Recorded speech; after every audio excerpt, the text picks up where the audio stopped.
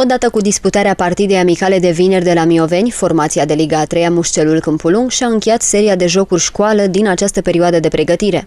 La doar o săptămână distanță, echipa Faniona orașului va disputa primul joc oficial din acest an la Afumați, acolo unde va întâlni formația locală în prima etapă a returului de campionat.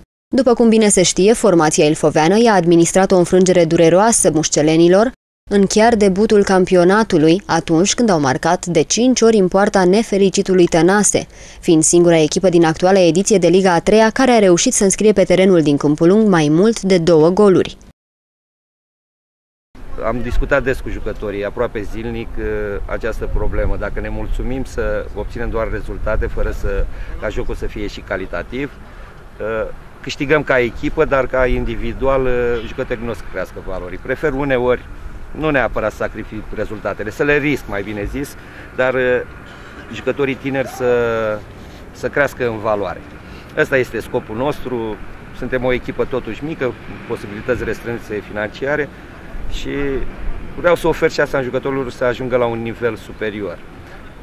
Deja după tur au fost contactați mai mulți jucători, majoritatea au înțeles, și noi am înțeles pe cei care n-au mai putut să continue între noi, aspectele au fost doar de ordin financiar și e normal ca să nu poți să, să întrerupi ascensiunea, cariera unui, unui jucător. Uh, nu-mi place să fac nominalizări, dar uh, sunt foarte mulțumit de atât ca fotbalist, dar cât și de caracterul lui Simon Mazarache, pentru că trebuie spus, spuse lucrurilor pe nume. Simon a renunțat la un salariu mult, mult peste ceea ce putem să-i oferim noi, numai de dragul de a rămâne la această echipă, de dragul de a uh, rămâne lângă coechipierii lui care uh, îl ajută și, și el la rândul lui uh, confirmă, confirmă joc de joc. Să revenim puțin la jocul de astăzi, un joc foarte bun, victorie 4-2, în ciuda uh, arbitrajului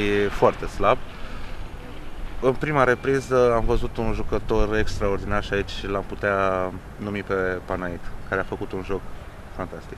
Da, este un jucător, este, știam că este un jucător gol, bun, pasă de gol. cu o anumită experiență la nivel uh, mult mai înalt. Este un jucător care a venit să ne ajute și să-l ajutăm la rândul nostru, pentru că vine după o perioadă uh, de repaus. Uh, este un jucător care sunt sigur că o să se integreze în acest colectiv, cum s-au integrat și toți ceilalți, a fost asimilat destul de bine, dar uh, nu-mi place să fac nominalizări și să fiu mai euforii decât ar trebui după acest joc. Este totuși un meci de pregătire care nu ne aduce puncte, da.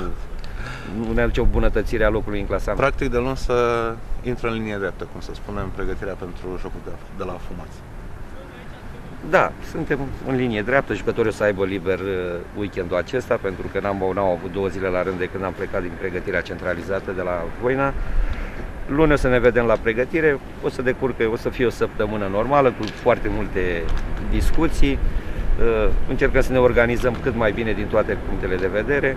Lucru care trebuie îmbunătățit este problema de tehnică individuală a jucătorilor. Mai avem ceva din punct de vedere tactic. Uh, referitor la problemele tehnice, n-am avut unde să lucrăm, de am și preferat să jucăm numai și numai în deplasare. Sper să ca timpul să ne ajute pentru a lucra și mingea mai mult decât uh, am făcut-o până acum. Domn profesor, succes și să dea Domnul să venim cu un punct sau puncte de la fumați. Doamne ajută!